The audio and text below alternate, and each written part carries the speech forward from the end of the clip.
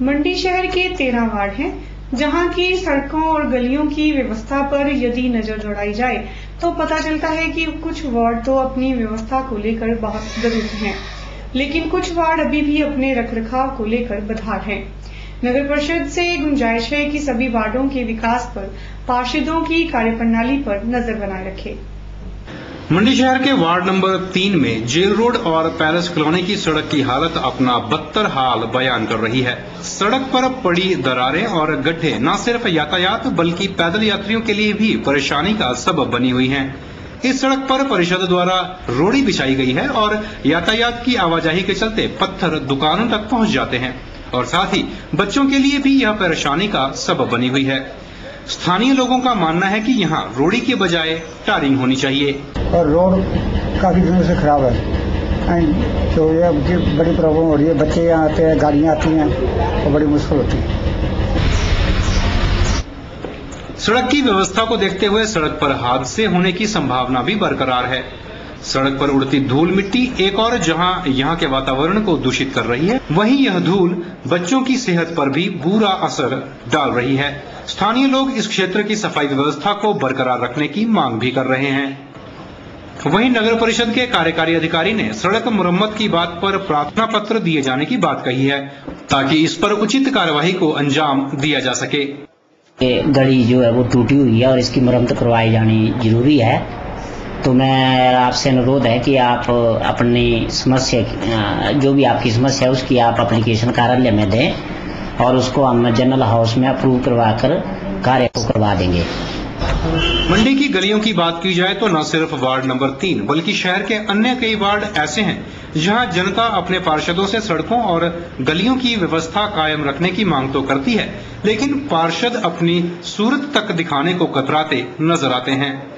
Bureau report, K channel, Mandi. Mandi स्थित राजकीय वल्लभ महाविद्यालय में वर्ष 2009 से 2010 का सत्र शुरू होने जा रहा है, जिसके लिए कॉलेज में प्रवेश लेने वाले छात्र छात्राओं की खासी भीड़ कॉलेज परिसर में देखने को मिल रही है और दूर दूर से आए विद्यार्थी अलग अलग विषयों में प्रवेश ले रहे हैं। मंडी स्थित वल्लभ महाविद्यालय में शुरू होने वाला सत्र 2009-2010 के लिए प्रवेश प्रक्रिया का दौर शुरू हो चुका है। इसी के चलते कॉलेज परिसर में नए छात्रों का जमावड़ा भी दिखना शुरू हो गया है। 11 जून से प्रवेश प्रक्रिया शुरू हो चुकी है, जो अगले 10 दिनों तक जारी रहेगी। आने वाली 22 तारीख से कॉलेज में शैक्षणिक सत्र शुरू होने जा रहा है और कॉलेज प्रशासन ने नए सत्र के लिए सभी तैयारियाँ पूरी कर ली हैं। एडमिशंस प्रोसेस 10 दिन तक बिना लेट फ़ीस के चलेगा। उसके अगले 10 दिन तक लेट फ़ीस के साथ बच्चों को एडमिशन दिया जाएगा। और 10 दिन के बाद 22 जून से हमारा शैक्षणिक सत्र आरंभ होने जा रहा है।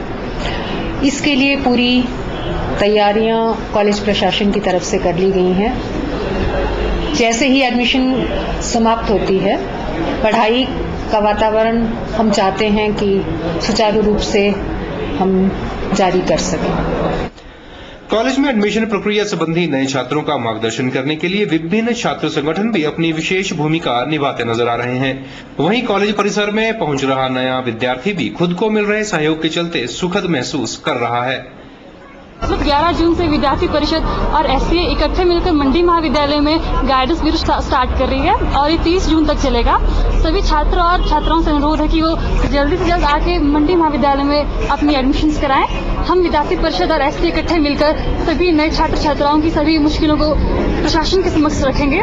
तथा हमारे प्रिंसिपल प्रिंसिपल मैम से यह निवेदन है कि जो बीएससी के स्टूडेंट्स को जो प्लस टू पास है विद कंपार्टमेंट उनको एडमिशन दी जाए बीएससी में? कॉलेज कैंपस अच्छा है और यहाँ पे वैसे बहुत प्रॉब्लम्स भी आई, लेकिन एन एस यू आई वगैरह इन कार्यकर्ताओं ने मेरी बहुत मदद करी। और जैसे मेरे को प्रोस्पेक्टस वगैरह प्रिपेयर कराने में बिल्कुल हेल्प करी और जो भी फॉर्मेलिटीज वगैरह सब इन्होंने करके दी। और मतलब पूरा एक अच्छा फ्रेंडली इन्वायरमेंट है कॉलेज के अंदर। कॉलेज कैंपस में पसरी नए छात्रों की चहल पहल ने एक और जहाँ कॉलेज के वातावरण को ताज़ा कर दिया है, वहीं उम्मीद की जा सकती है कि नए छात्र छात्राओं के लिए कॉलेज में शिक्षा का वातावरण भी सुखद रहेगा। Bureau report, K channel, Mandi. Mandi के पंडोर क्षेत्र में इन दिनों हरवंश मेमोरियल क्रिकेट प्रतियोगिता का आयोजन किया जा रहा है। प्रतियोगिता का आयोजन बादर युवक मंडल द्वारा किया जा रहा है। 20 तीस ओवर के आधार पर खेली जा रही इस प्रतियोगिता में कुल 18 टीमें भाग ले रही हैं। मंडी के नज़दीक पंडोह में बटालियन मैदान में इन दिनों हरवंश मेमोरियल क्रिकेट प्रतियोगिता आयोजित की जा रही है। यह प्रतियोगिता पहली बार बादर युवक मंडल द्वारा आयोजित की जा रही है, जिसमें 18 टीमें भाग ले रही हैं। मैच 2020 ओवर के आधार पर खेला जा रहा है। इस प्रतियोगिता का शुभारंभ बीडीसी अध्यक्ष जगरनाथ सकलानी द्वारा किया गया। सकलानी ने हरवंश को खेल जगत का एक हीरा करार दिया। इस मौके पर खेल जगत से जुड़े खिलाड़ियों ने भी हरवंश को याद किया और अपने लिए एक प्रेरणा स्रोत बताया। ठाकुर, हरवंश लाल जी का खेलों के क्षेत्र में, खासकर वॉलीबॉल और कबड्डी में महत्वपूर्ण योगदान रहा है, जिसे पूरे जिला मंडी, पूरे इलाका उधार ही नहीं, बल्कि जिला मंडी के खिलाड़ी वर्ग भी कभी भुला नहीं पाएँगे। आज बड़े दुख का विषय भी है कि आज वो शख्स हमारे बीच नहीं है, मगर उसकी खेलों के प्रति हमारी सुनहरी यादें। हमेशा चाहे क्रिकेट हो, वॉलीबॉल हो, कबड्डी हो, आगे बढ़ने के लिए प्रेरणादायी है। राष्ट्रीय स्तर पर खेलों में अपना नाम कमा चुके हरवंश का खेल जगत में एक अहम स्थान है, जिसका वॉलीबॉल और कबड्डी में विशेष रुचि थी। हरवंश की एक दुर्घटना में पाँच वर्ष पहले मौत हो गई थी और वह स्वास्थ्य विभाग के लांग में बतौर चालक कार्यरत थे। बालक राम के चैनल पंडो।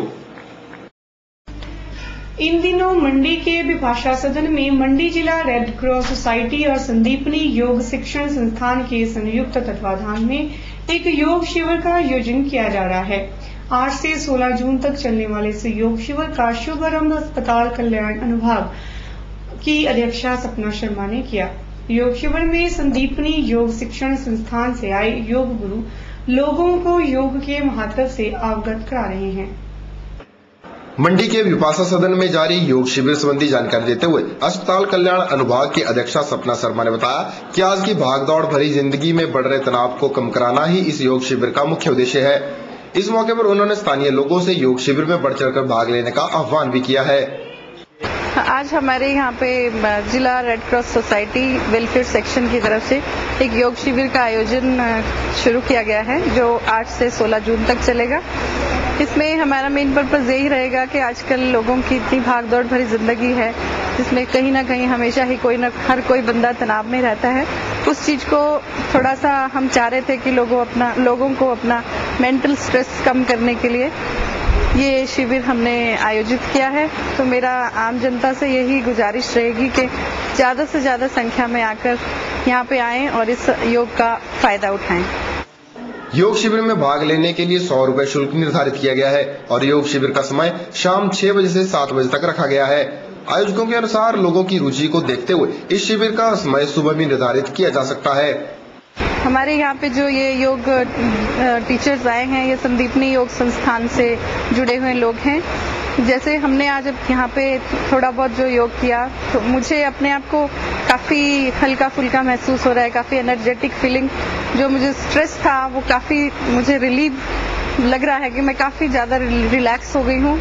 और इसमें हमने सिर्फ़ रजिस्ट्रेशन फ़ीस सौ रुपये रखी है, जो हमारा थोड़ा बहुत भी पाँच सात दस हज़ार रुपये इकट्ठा होता है, वो रेड क्रॉस सोसाइटी को जाएगा। और इसका टाइमिंग जो है शाम को विपाशा सदन में पाँच से छः से सात बजे तक का रखा गया है। और जो कोई इच्छुक लोग हैं, वो अब अपना हमें आके बता भी दें तो हम उस हिसाब से सुबह भी छः बजे से सात बजे तक यहाँ पे इसका आयोजन कर सकते हैं।